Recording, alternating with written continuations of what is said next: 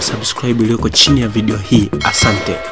Mpenzi mtazamaji wa Bongo One Media, karibu tena kwenye dawati yetu ya michezo, tukizidi kuangazia habari ambazo zimejindani lakini pia na nje ya Tanzania mara baada ya michezo yote ambayo imepigwa kwa siku ya jana, lakini pia na mchezo wa mwisho ambao ilikuwa ni Young African dhidi ya Mwadui, ambapo Yanga waliibuka na ushindi wa magoli matatu kwa mawili. Msimamo wa ligi kuu ya Vodacom 2020 2021 baada ya michezo iliyochezwa siku ya jana Juni 20 2021. na 21. Timu ya kwanza ni Simba Sports Club wamecheza michezo 28 na jumla ya pointi 70, na timu ya pili ni Yanga Sports Club wamecheza michezo 31 na jumla ya pointi 67, na timu ya tatu ni Azam FC wamecheza michezo 31 na jumla ya pointi 63, na timu ya nne ni Biashara United FC wamecheza michezo 32 na jumla ya pointi 40 na tisa na timu ya tano ni Dodoma Jiji FC wamecheza michezo 31 na jumla ya pointi 42 na timu ya sita ni Namungo FC wamecheza michezo 31 na jumla ya pointi 42. Hapa ukiangalia kwa Dodoma Jiji na Namungo wanalingana pointi, tofauti ni magoli ya kufunga na kufungwa, huku pia timu ya saba ni KMC FC wamecheza michezo 30 na jumla ya pointi 41.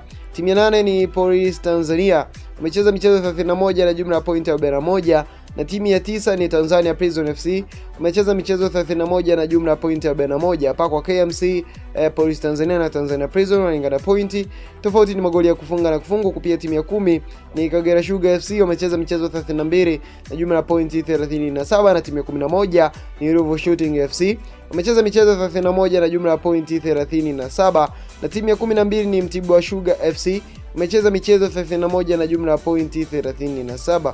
Hapa kwa Kagera Sugar, Ruvu Shooting na Mtibwa Sugar wanalingana pointi, tofauti ni magoli ya kufunga na kufungwa. Timu ya tatu ni Mbeya City FC umecheza michezo 31 na jumla ya pointi 36. Timu ya 14 ni JKT Tanzania FC wamecheza michezo 32 na jumla ya pointi 36. Hapa ukiangalia eh, kwa JKT Tanzania na Mbeya City wanalingana pointi, tofauti ni magoli ya kufunga na kufungwa.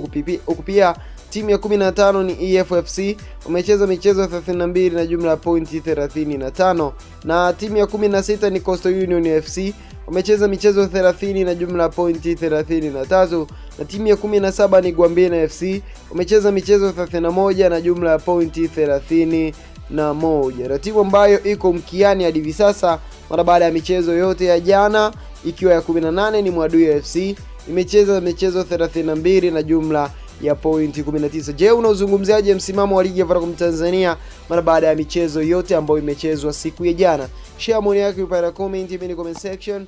See you next. Bye bye.